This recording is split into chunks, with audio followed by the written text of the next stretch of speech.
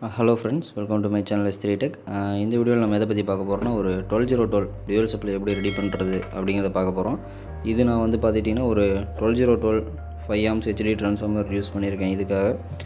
இது வந்து ஒரு பிரிட்ஜ் ரெக்டிஃபையர் தான்.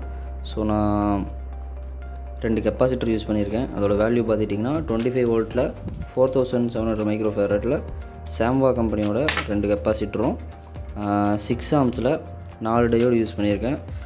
பிரிட்ஜுங்கிறதுனால நாலு டையோடு யூஸ் பண்ணியிருக்கேன். ஸோ இதை நான் எப்படி ரெடி பண்ண போகிறேன் அண்ட் இதை பற்றி டீட்டெயில்ஸ் எல்லாம் நம்ம வீடியோவில் போய் இன்னும் டீட்டெயிலாக பார்க்கலாம்.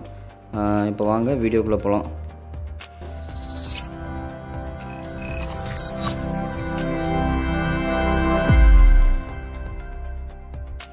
வீடியோக்குள்ளே போகிறக்கு முன்னாடி நம்ம பிரிட்ஜ் ரெட்டிஃபர்னு என்னென்னு பார்ப்போம். ட்ரான்ஸ்ஃபார்மரோட செகண்டரி எடுத்து டயோடு கொடுத்து நம்ம வந்து ஏசியை டிசியை ரெக்டிஃபை பண்ணி நம்ம யூஸ் பண்ண போகிறோம் இதில் வந்து பார்த்திங்கன்னா ரெண்டு ஹாஃப் சைக்கிளாக வந்து இந்த ரெக்டிஃபிகேஷன் நடக்கும். அதாவது ஃபஸ்ட்டு பாசிட்டிவ் ஹாஃப் சைக்கிளில் T one and T two conduct பண்ணும்.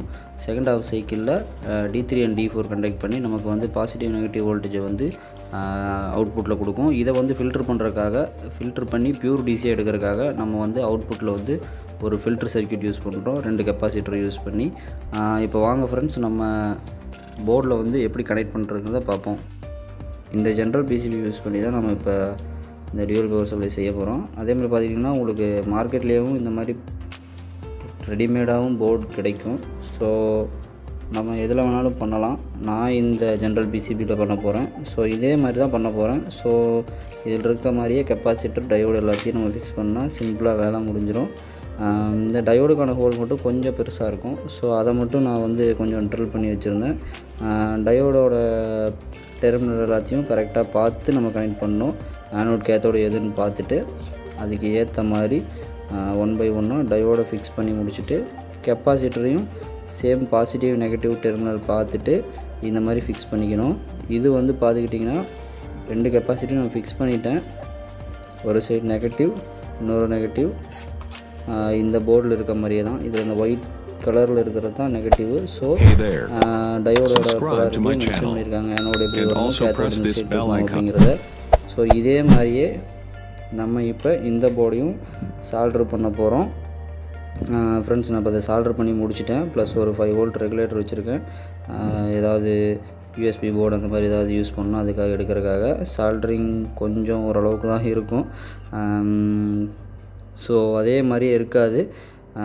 ஓரளவுக்கு இதாக இருக்கும். சேம் இதே சர்க்கியூட் தான். ஒரே ஒரு சின்ன இது பார்ட் மட்டும் மிஸ் ஆகும். அதாவது என்னென்னா சைடில் வர அந்த டுவெல் வோல்ட் செக்ஷன் மட்டும் மிஸ் ஆகும். நான் அதுக்காக இங்கே சைடில் நான் ஒரு ஃபைவ் வோல்ட் ரெகுலேட்டர் வச்சுட்டேன். நான் வந்து இன்கேஸ் ஏதாவது யூஎஸ்பி போர்டோ இல்லை வேறு ஏதாவது அப்ளிகேஷனுக்கு ஃபைவ் வோல்ட் எடுக்கணும்னா அதை யூஸ் பண்ணி நான் எடுத்துக்குவேன். இப்போ வந்து டிரான்ஸ்ஃபார்மரில் நம்ம வந்து கனெக்ஷன் பண்ணிக்குவோம். இது ப்ரைமரி செகண்டரி பார்த்துக்கிட்டிங்கன்னா நம்ம இந்த மாதிரி காப்பர் கோர் அப்படியே கொடுத்துருப்பாங்க. இது வந்து ரொம்ப இதுவாக இருக்கும் ஹார்டாக இருக்கும். ஸோ இதை வந்து நம்ம கொஞ்சம் சுரண்டிட்டு அதுக்கப்புறம் சால்ட்ரு பண்ணிக்கலாம். இந்த மாதிரி கொஞ்சமாக பிளேடை வச்சு நம்ம லைட்டாக அந்த எனாமல்லாம் சுரண்டிட்டு அதுக்கப்புறம் சால்ட்ரு பண்ணோம்னா கொஞ்சம் ஈஸியாக இருக்கும். இப்போ வந்து டிரான்ஸ்ஃபார்மரோட அவுட்புட் செக் பண்ணிக்குவோம். டிரான்ஸ்ஃபார்மரில் பார்த்துக்கிட்டிங்கன்னா தேர்ட்டீன் பாயிண்ட் எயிட் வோல்ட் வருது. அதாவது ஜீரோக்கும் ஒரு டெர்மினலுக்கும் தேர்ட்டீன் பாயிண்ட் எயிட்டு சேம் அதே மாதிரி ஜீரோக்கும் செகண்ட் டெர்மினலுக்கும் தேர்ட்டீன் பாயிண்ட் எயிட் வோல்ட் கிடைக்கிது நமக்கு.